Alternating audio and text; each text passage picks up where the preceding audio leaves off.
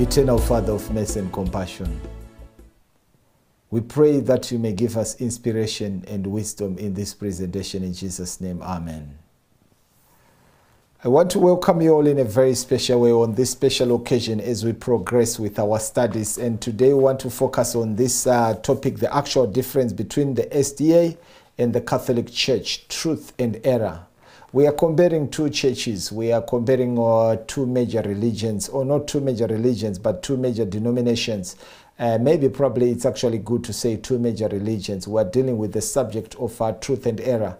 There are quite a lot of uh, fundamental difference between the Catholics and the Seventh-day Adventists, and one of them is actually the first one is the mark of authority. The mark of authority. We're talking about what the Catholic believe is their sole of authority, and what the uh, the SDA believe at their soft authority. I'm sure you enjoyed this presentation as I've enjoyed it. The Bible says in the book of Isaiah, chapter 8, verse 20, To the law and to the testimony, if they speak not according to this word, it is because there is no light in them. You realize that when the SDA are talking, or the Seventh day Adventists, they believe that the Bible and the Bible alone, they believe they are guided by the Bible. They believe in what Bible say. They believe that there is no authority which is higher than the Bible. And thus says the Lord cannot be substituted by anything. And thus says the Lord carries more weight than anything else. They also believe in the book of First Peter chapter uh, uh, uh, Second Peter chapter 1 verse 19. That's Second Peter chapter 1 verse 19.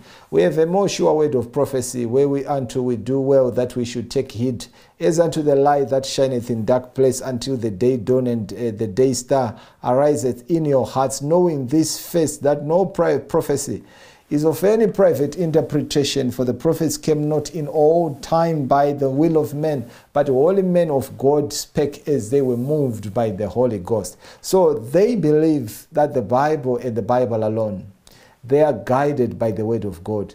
They have a full understanding of what the Bible says in the book of Psalms, chapter 138, verse 2, that God has exalted his word above his name. So there is nothing as special as the word of God in the in Christianity. The word of God is actually central to all worship. So when you are talking about the Adventist church, the Adventist church believe that the Bible, the Bible alone is the sole authority. I want to take a quotation uh, from one of uh, the writers of Adventist. Uh, first, uh, that's uh, selected messages, book one, page four one six. Say the Bible and the Bible alone is to be our creed, the sole bound of union. All who bow to this holy word will be in harmony. Our own views and ideas must not control our efforts. Man is fallible, but God's word is infallible. In other words, men can die, men can change, man is unreliable, but God's word is very reliable. Instead of wrangling with other, uh, one another. Let men exalt the Lord. Let us meet all opposition, as did our Master, saying, It is written. Let us lift up the banner on which is inscribed the Bible, our rule of faith and discipline. So, this is very interesting. Is the Bible and the Bible alone? Based on the words of Jesus Christ. That's what Seventh day Adventist is all about. The Bible in the Bible alone. Sola Scriptura, as Martin Luther said. The reformers were saying, let the Bible and the Bible alone to speak. That's why they believe, taking from the words of Jesus in Matthew chapter 4, verse 4, it is written. Matthew chapter 4, verse 7, it is written. Matthew chapter 4, verse 10, it is written. Whenever you are dealing with the subjects of worship, we depend upon the written word. And thus says the Lord cannot be replaced by a thus says the church. That's a very serious uh, uh, claim. In fact, that's a very serious belief which you find in the Seventh day Adventist, the Bible and the Bible alone as the sole authority. It says in Review and Herald, May 4, 1897, the Bible and the Bible alone is to be the rule of our faith. It is a leaf from the tree of life, and by eating it, by receiving it into our minds, we shall grow strong to do the will of God. By our Christ like character, we shall show that we believe the word, that we cleave to the Bible as the only guide to heaven. So shall we be living epistles, known and read of all men, bearing a living testimony to the power of true religion, the Bible and the Bible alone. What you realize is that the beliefs of the Seventh day Adventists are reflected in their obedience uh, to the fourth commandment. The fourth commandment, which we read from Exodus chapter 20, verse 8 remember the Sabbath day to keep it holy.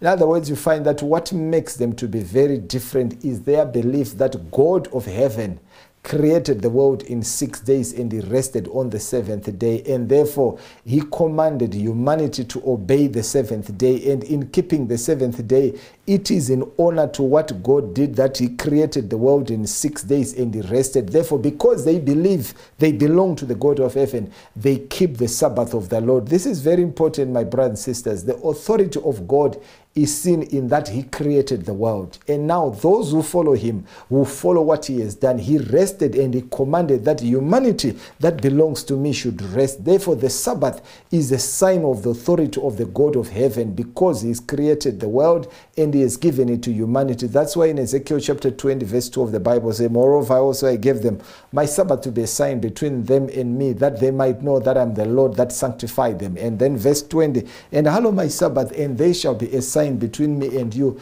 that you may know that I am the Lord your God. So this is uh, what the Bible says about the Seventh day Adventists, and this is what they say. The Bible authority is the only difference. In fact, now let me actually come to this. We're comparing the two. The Bible authority is the only difference which makes everything different. The authority of the Bible. Now, the question is what do Catholics believe and what is their belief based upon? As for the Seventh day Adventists, the Bible and the Bible alone is their sole authority. But when it comes to the Catholic, it's actually a different thing altogether. And this is what makes the different to be different. And the different is a major difference. You come to these religions, they are incomparable. They are actually going two different ways completely. And they will not meet. Why? Because they are focusing on two different different gods altogether the God of the Catholic and the God of the Seventh day Adventists. These religions, their foundation is actually very, very different, as we are going to learn. Now, let's actually start with this quotation from Signs of the Times, February 19, 1894. It says, the Roman Church claims that the Pope is invested with supreme authority over all bishops and pastors. Uh, this claim of supremacy was once denied by Protestants. They took the position that the Bible and the Bible alone constituted the rule of faith and doctrine, that the Word of God is the only unerring guide for human souls, and that it is unnecessary and harmful to make the words of priests and prelates instead of the Word of God. Now, when you come to Catholicism, there is something that, uh, that is very important. The word of the Pope, the, in fact, the first authority is the tradition, the second is the word of the Pope, the third is the council of the cardinal, and if there is anything to say, they consider the Bible. That's why Pope Leo, the, 11, the 13th, he will say, We hold upon this earth the place of God Almighty. To them, they have the place of God Almighty. Remember, this is a claim. They believe that uh, they cannot uh, be guided by the Bible. They believe that they, their authority is above the Bible. They believe that uh, the Bible is nothing. The Bible is relegated into a fourth position. In other words, they don't consider the Bible anyway because to them, what's important is their tradition, the word of the Pope, the council of the cardinal. Those things are more important. That's why they said in the in the canon and tradition, page 264, the authority of the church could be therefore not be bound to the authority of the scriptures because the church had changed the Sabbath to Sunday not by command of Christ but by its own authority. So this church claims to have a lot of power uh, to the extent that they can change the Bible. So now the question is if the Bible is the word of God, which power can contend with God except the power of the devil? Now we ask ourselves, what exactly is the foundation of the Catholics? The foundation of Catholicism is actually Babylon. Babylon, which is actually false worship based on the tradition taken from Babylon and imported into the church. Catholicism being the amalgamation of truth and error, and then we come to this compromised faith called Catholicism. But now let's actually compare this. It's a letter from uh, October 28. 1895 from uh, C.F. Thomas says, Of course, the Catholic Church claims that the change was her act, the change of the Sabbath from Sabbath to Sunday. And the act is a mark of her ecclesiastical power and authority in religious matters. And the power is that she changed the Sabbath from Sabbath to Sunday by her own authority and say, Because if I was not above the Bible, I would not have done that. So now, the, as we have seen, the fundamental difference is that Adventists they believe that the Bible and the Bible alone. Catholicism believe that they've got power to change the Bible. But now let's look at the next. Uh, um, Quotation from Catholic Record, September 1, 1923. Sunday is our mark of authority. The church is above the Bible, and this transference of Sabbath observance is a proof of that fact. So now, if I'm going to go to church on Sunday to Catholic with my Bible, what am I doing? Because the church is above the Bible, basically, it means nothing. Uh, they don't believe in the God of heaven. They don't believe in the uh, authority of the Word of God. That's exactly what it's all about. But now let's look at this publication. St. Catherine, May 21, 1995, Catholic Church Sentinel. It says, Perhaps the boldest thing, the most revolutionary change the church ever did have happened in the first century. The Sabbath was changed from Saturday to Sunday, not from any direction noted in the scripture but from the church sense of its own power. So the church has got a lot of power because it changed the Sabbath, not based on the Bible, but its own authority. They are bragging about their power. So this church is so powerful. And this power is reflected that it attempts to change the Bible. So therefore, it actually makes it very clear that you know this power is not controlled by the word of God. It's controlled by another external power. It says, People who think that the scripture should be the sole authority should logically become Seventh day Adventists and keep Saturday holy. So, what actually that means is that there are only two churches.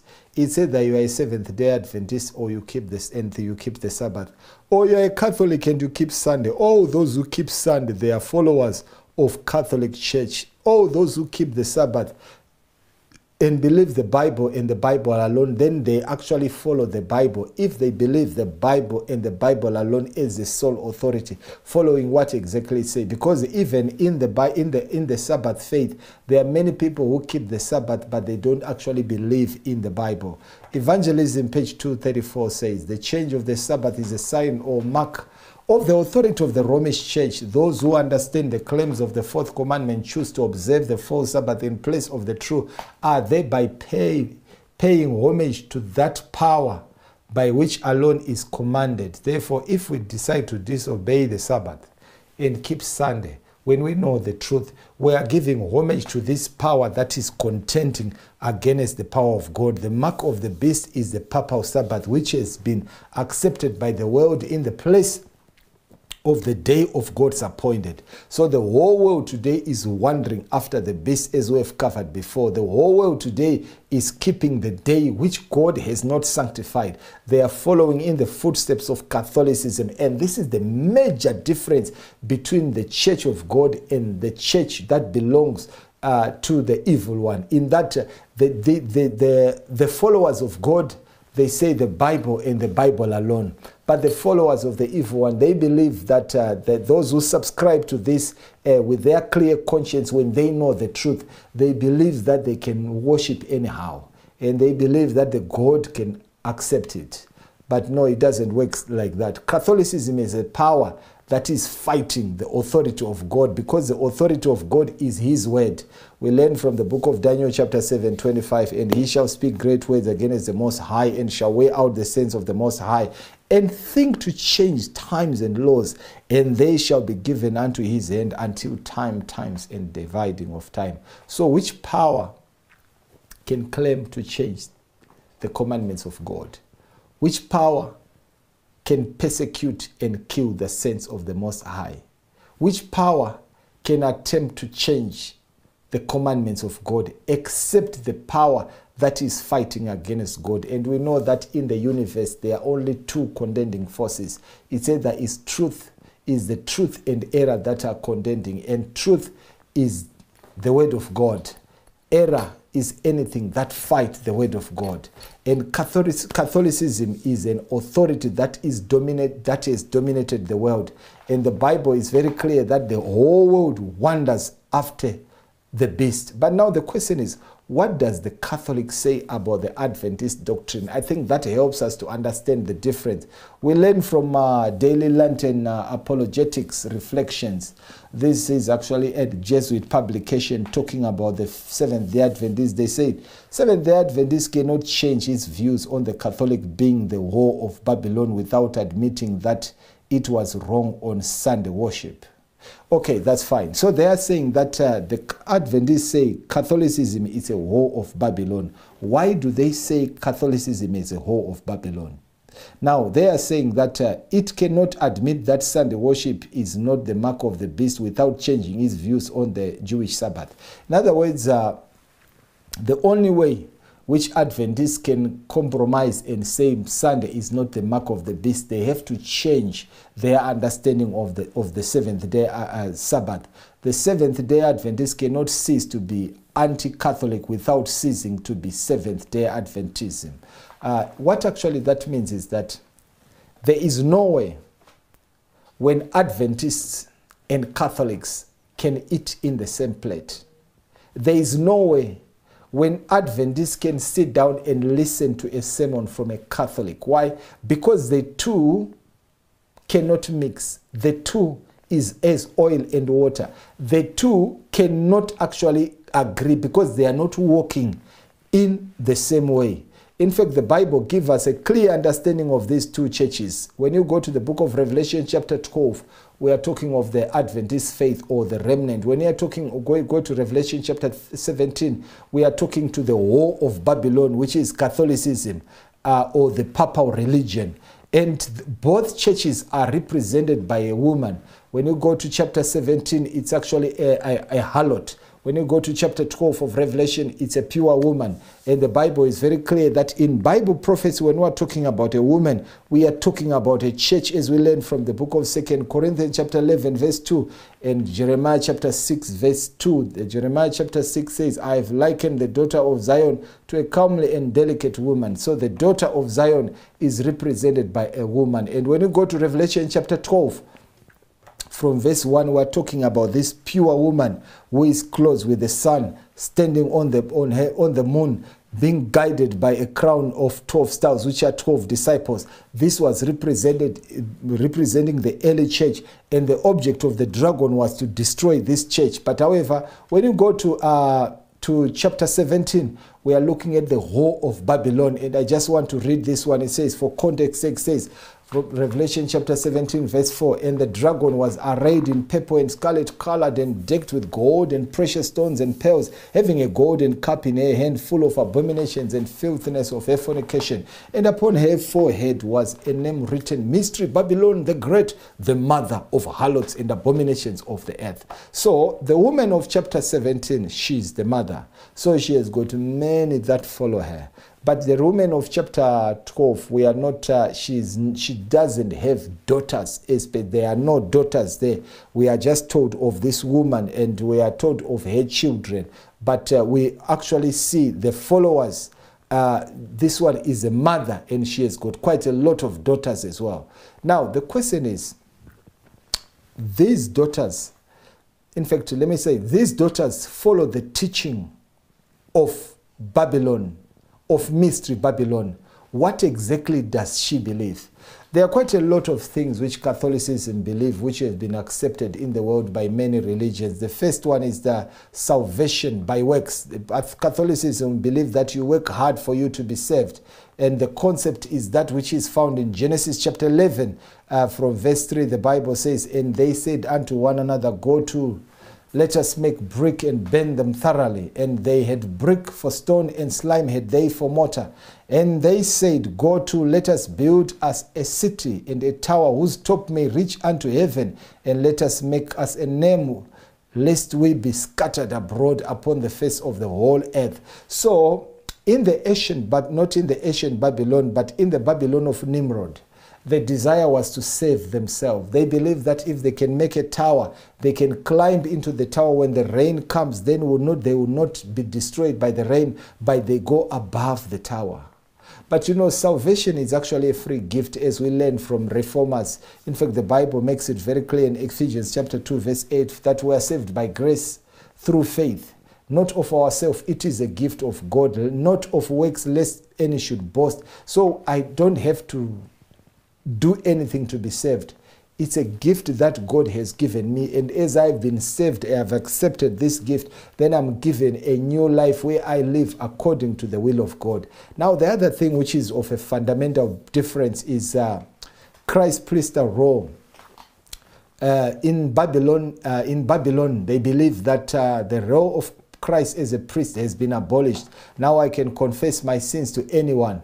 But however, the Bible is very clear that um, in First Thessalonians, in First Timothy chapter two, verse five, for there is one God and one mediator between God and men, the man Christ Jesus. In in Catholicism, they confess to the priest. But in, uh, in Christianity or in Adventism, there is only one mediator between us and God, and that's Jesus Christ in heaven, who is our high priest. So we don't confess our sins to anyone. We confess our sins to God, who can forgive, as we learn from James chapter 5, 16. Confess your faults one to another and pray for one another that you may be healed. And the effectual fervent prayer of a righteous man availeth much in First John chapter 1, verse 9, if we confess our sins, he is faithful. Who are we confessing to? To Jesus Christ, who can forgive our, our sins and cleanse us from all unrighteousness. So we don't depend upon anyone. We don't need a, a, priest in between. But because Catholicism takes from the tradition of the Babylonian, they believe that you can't reach the chief God straight away. You have to go through many other gods.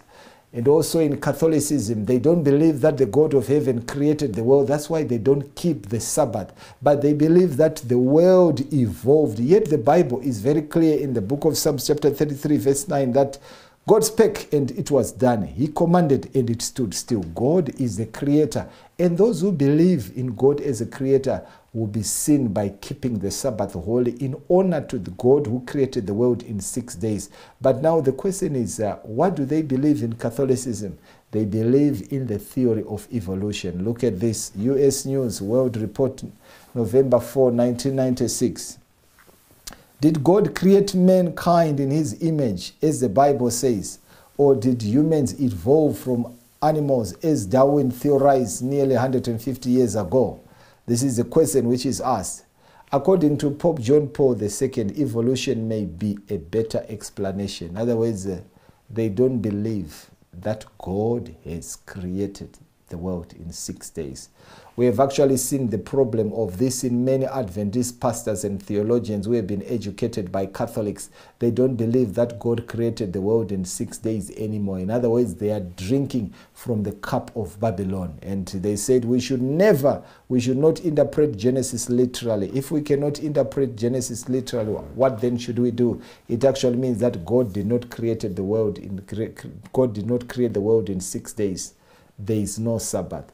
And remember, they don't believe in the Sabbath. It says the Sabbath was replaced by the worshipping of the sun. That's why they keep Sunday. Remember, the commandment is very clear that remember the Sabbath day is to keep it holy. Six days shall thou labor and do all your work, but the seventh day is the Sabbath of the Lord your God. It's not your Sabbath, it's the Sabbath of the Lord your God. But in Catholicism, because they don't believe the Bible, they have actually adopted the God of the Babylonian. They worship the sun God. So the major fundamental difference between Catholicism and the Seventh day Adventists is the God that is worshipped. In Catholicism, they worship the sun. In Adventism, they worship the God of heaven. Now look at this, the Catholic World, March 1994, page 809. The sun was a foremost god with heathendom. The sun has worshippers at this present hour in Persia and other lands. There is, in truth, something royal kingly about the sun, making it a fit emblem of Jesus, the Sun of Justice. Hence, the church in these countries would seem to have said Keep the old pagan name. It shall remain consecrated, sanctified, and thus the pagan Sunday dedicated to Boulder become the Christian Sunday sacred to Jesus. So, is there anything about Jesus there? No. It's all about sun worship. It's all about pagan worship. It's all about idol worship. It has nothing to do with the God of heaven. Catholicism believe in the immortality of the soul. The dead are not really dead, as we covered last week. But the Bible is very clear that the living know that they shall die. Ecclesiastes chapter 5, verse 9. Uh, but the dead know not anything. So when you are dead, you are dead. Catholic believe that there is a second chance you go through purgatory, you go in the process of purification, and then your soul will go to heaven straight away. But however, the Bible does not teach that this is something which is heretical. You only find this in the Babylon. This is a wine of Babylon. For the living know that they shall die, but the dead know not anything. There is hope to him that is joined with the living. And when we die, our love is forgotten, our hatred is gone, our envy is gone, everything is perished. There is no portion that we can do anything here on earth. Why? Because we are dead. Therefore, while we are still alive, it's time to repent and give our hearts to Jesus Christ. And in Catholicism, they believe in idol worship and image worship, contrary to what the Bible says. Remember, the commandment is very clear in Exodus chapter 20, verse 4 that thou shalt not make unto thee any graven image or any likeness of anything that is in heaven above, or that is in the earth beneath, or that is under the water. But uh, when you go to Catholicism, they have got images all over. They worship images. And the Bible is very clear if ever there was a belief in the Bible in Catholicism, then you not see any images, you not see any sun worship, you not see those priests who actually take the position of Jesus Christ. It is simply because this is not a religion of the Bible, it's a religion of the world, it's a religion of pagan, it's a religion that uh, that seek to um, that uplift the doctrine which is contrary to the truth of the word you know, we are told that the law of God is there. The law of God will be there until the end. That's what we learned from Matthew chapter 5, 17 and 18. That heaven and earth will pass, but not jot, jot, no, not one jot, no one tittle shall in no wise pass from the law of God.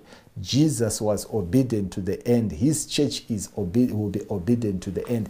And those who fear Jesus Christ will be loyal to the Bible and the Bible alone.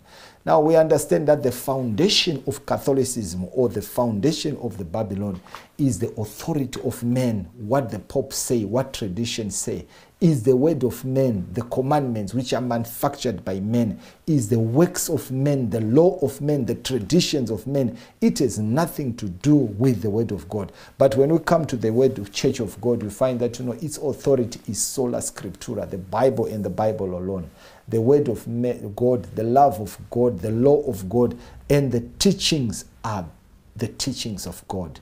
Now, the question is which church should I choose? Should I be a Catholic? And my religion is tradition, the voice of the Pope, the voice of the Cardinal. Or should I be a Seventh day Adventist and I'll elevate the Bible in the Bible alone? Blessed are we in these final days. The context, the contest is between the commandments of men and the commandments of God. We are going to choose. We are choosing every day, my brothers and sisters. And as for me today, I'll choose to keep the commandments of God. What is the difference between Catholicism and the Seventh day Adventists? The real difference is the Bible, the authority of the Word of God, nothing else. If ever Catholicism will take God as its word, then all those things that we've been mentioning, they will leave them and they will follow the truth, and the truth will save them. Now, the question is are we safe being in the Seventh day Adventists? We are only safe by Christ being in our hearts, by depending on Christ Jesus and this word be, uh, becoming alive. In fact, this word living in our hearts and this word reflected in the way we conduct ourselves. For may the Lord help us to value the truth of the Bible in the Bible alone. Shall we pray? Thank you, Father. Blessed be your name. May you forgive us where we have gone wrong. Give us grace to keep the truth.